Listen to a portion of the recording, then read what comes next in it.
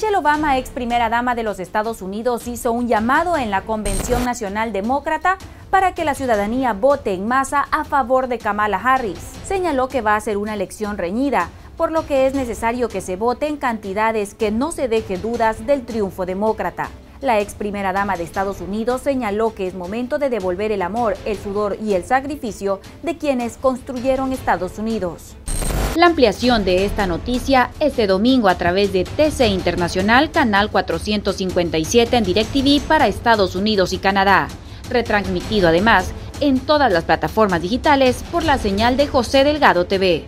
Miguel Campoverde, el tatuador de Queens. Arte y originalidad.